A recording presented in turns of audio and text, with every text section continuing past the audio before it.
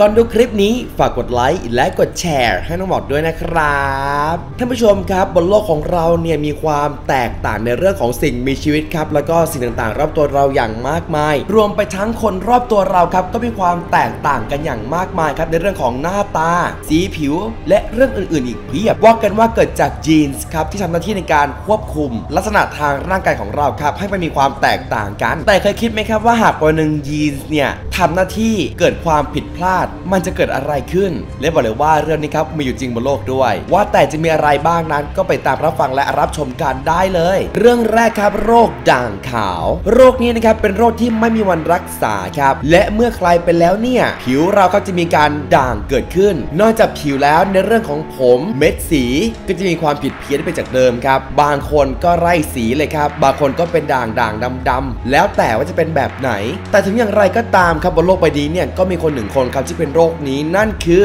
วินนี่ฮาร์โรครับชีเป็นนางแบบด้วยนะครับ แต่ว่าชีนั้นก็ไม่ได้รู้สึกท้อแท้หรือว่าเป็นปมด้อยแต่อย่างใดเพราะชีมองว่าเรื่องพวกนี้มันเกี่ยวข้องกับจิตใจ ไม่ใช่หน้าตานะครับสองครับฝาแฝดที่มีความแตกต่างกัน ท่านผู้ชมครับปกติแล้วเนี่ยฝาแฝดนั้นเกิดมาแล้ว หน้าตาหรือว่ารูปร่างโดยรวมแล้วจะมีความคล้ายๆ กันใช่ไหมครับ แต่เรื่องนี้เนี่ยเชื่อไหมครับว่ามีฝาแฝดบางคนนั้น เกิดมาแล้วหน้าตาคนละแบบคนละโยชน์บางคนนั้นส่วนทางกันอย่างมากเลยนะครับอย่างเช่น กรณีของสองหนูน้อยคนนี้เลยครับที่เกิดมาแล้วหน้าตาคนละแบบ แต่ว่าเกิดจากไข่ใบเดียวกัน ซึ่งเราเรียกว่าฝาแฝดคครับถึงอย่างไรก็ตามครับพ่อของเด็กนั้นตอนแรกเชื่อว่า อาจจะเป็นลูกของคนข้างบ้านหรือเปล่าเพราะว่าเกิดมาแล้วลูกเนี่ยหน้าตาไม่เหมือนกันสุดท้ายครับหมอ confirm ว่าลูกแกนั่นแหละคล้ายพ่อเด็กเลยเชื่อครับ 3. ครับ p y b o r i s m ว่ากันว่าเกิดจากความผิดปกติของยีนส์ครับ และว่ากันว่าหากใครเป็นโรคนี้แล้วเนี่ยจะทำให้คนนั้นครับมีผมสีขาวเป็นหย่อมๆ ซึ่งเรียกว่าเป็นภาวะทางพันธุกรรมที่หาได้ยาก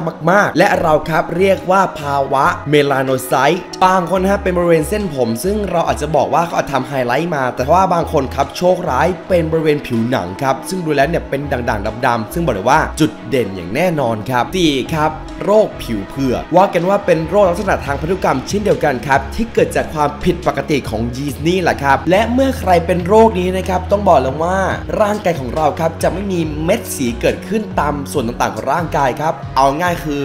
จะไม่มีวันดำเลยก็ว่าได้ จะขาวทั้งตัวเลยครับซึ่งบอกเลยว่าคนที่เป็นโรคนี้เนี่ยมีโอกาสเป็นโรคผิวหนังมากกว่าคนอื่นๆทั่วไปนะครับ เพราะสามารถรับแสง UV ได้แบบเต็มๆเลย ซึ่งบอกเลยว่าขาวครับ แต่ก็เสี่ยงครับต่อโรคมะเร็งนะ อ่าครับ Waardenburg syndrome บอกเลยนะครับว่าใครเป็นภาวะนี้เนี่ยคือซวยในซวยมากๆ เพราะอันแรกครับจะทำให้เรานั้นเป็นคนที่มีดวงตาสีฟ้าดูดีมีเสน่ห์นะครับ แต่ว่าต้องแลกกับการที่หูหนวกครับ ก็คือว่าตาสวยครับแต่ว่าไม่ได้กินอะไรเลยง่ายๆครับต้องบอกเลยว่าได้อย่างเสียอย่างจริงริง ๆ เลยนะครับ 6 ครับ โรคขนตางอกผิดปกติครับท่านผู้ชมฮะเราเกิดมามีขนตา 1 ชั้นเนี่ยเราก็ว่าหนาแล้ว บางคนโชคร้ายครับ มีภาวะโรคปกติทางด้านยีนนี่แหละครับทำให้มีขนตาขึ้น 2 ชั้นคือหนามาก และหนึ่งในนั้นครับคืออลิซาเบธเทรลเลอร์ครับเป็นนักแสดงชื่อดังระดับโลกที่เธอครับมีขนตา 2 ชั้น ซึ่งแน่นอนครับเป็นนักแสดงขนตาหนาอย่างนี้เนี่ย ทำอะไรก็ได้เปรียบครับ เพราะดูสวยดูแพง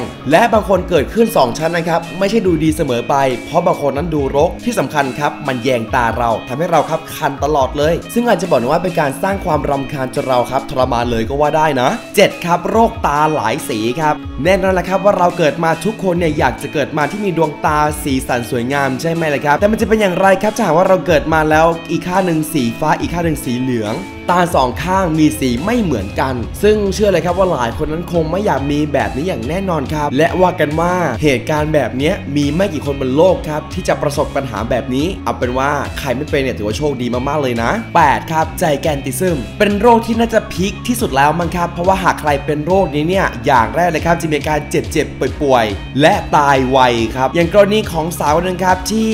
มีชื่อว่า Elisany da Cruz Silva เป็นสาวบราซิลนะครับที่มีเนื้องอกบริเวณใต้ต่อมสมองทำให้เธอครับมีความสูงถึง 6 ฟุต หรือประมาณ 289 เซนติเมตรซึ่งก็ต้องบอกเลยนะครับว่านี่ก็คือความผิดปกติจากยีนส์นี้แหละครับต้องบอกเลยว่าเป็นโรคอีกอันหนึ่งครับที่ไม่มีใครอยากเป็นแน่นอน เพราะว่าเป็นแล้วตายไวครับ 9 ครับคางบุ๋ม สิ่งนี้ครับเกิดจากการที่กระดูกใต้คางครับ มันไม่เชื่อมต่อกัน เมื่อมันไม่เชื่อมต่อกัน มันก็เลยบุ๋มอย่างที่เราเห็นในภาพนี้เลยครับว่ากันว่าหลายคนครับเชื่อว่ามันคือเสน่ห์อย่างหนึ่งครับของคนบนโลก เพราะน้อยคนครับที่จะมีมัน 10 ครับผมสีแดง ความผิดปกติอันนี้นะครับเรามาพบกับชาวแอฟริกานะครับ เพราะว่าเชื่อกันว่าเป็นการถ่ายทอดพันธุกรรมครับจากรุ่นสู่รุ่น ตั้งแต่รุ่นพ่อรุ่นแม่รุ่นปู่รุ่นย่านู่นมาเลยครับ ดังนั้นครับเมื่อมีการถ่ายทอดจากรุ่นสู่รุ่นเนี่ยก็เลยมีคนเชื่อว่า ไม่แน่นะ ชาวแอฟริกานี่แหละ อาจจะนับว่าเป็นพวกกลายพันธุ์ก็เป็นได้ ซึ่งเรื่องนี้ครับก็แล้วแต่ว่าคนจะมองแบบไหนเนาะ11 ครับ ocular albinism ครับเป็นโรคทางพันธุกรรมครับที่มีผลเฉพาะดวงตาเท่านั้น หากใครเป็นโรคนี้นะครับจะทำให้